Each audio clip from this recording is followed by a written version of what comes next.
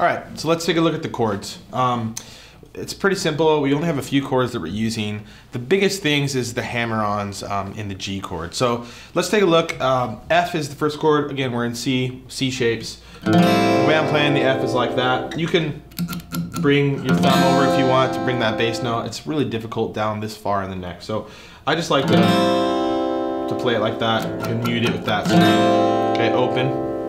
So again, that's your ring finger on that uh, fourth string, third fret, and that second string, first fret. Just letting it ring out, right? So there's the F. Um, C, we're gonna play the standard C. There will be C sus in this in this song. So you got your C here, again, ring finger on that third fret. You got, you know, just straight up. Fifth string, third fret. Uh, second finger on that second fret. It's gonna be the fourth string that uh, first finger on the first fret, second string. Okay. Okay, and then you're gonna add your pinky on that fourth string on the third fret. So C, C sustain, okay? C sus. There's C sus, and then um, we have the G, right? So I'm gonna play the G this way, so that I can move from those chords easily rather than our standard G. I'm gonna play it like that. We're gonna mute that uh, fifth string, right? And you're gonna put the pinky on that uh, one string there. Okay? So the hammer on and pull off is like a G sus, right? So, so you're gonna add what you would do in like an A minor seven. So you're gonna add your middle finger on um, the, the fourth string, second fret, and your first finger on, again, that second string, first fret.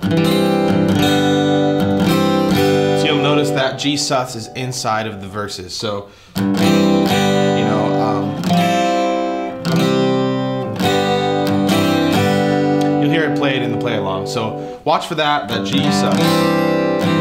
Got your G, we're gonna play in the C shapes. We're gonna add that sus, okay?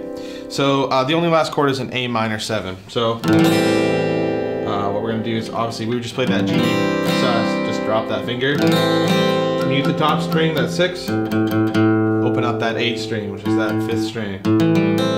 Okay, so you got your uh, first finger, first fret, uh, second string. You got your second finger on the uh, fourth string on the second fret, and then you got your pinky locked in on that third fret, sixth, uh, the first string there. Okay.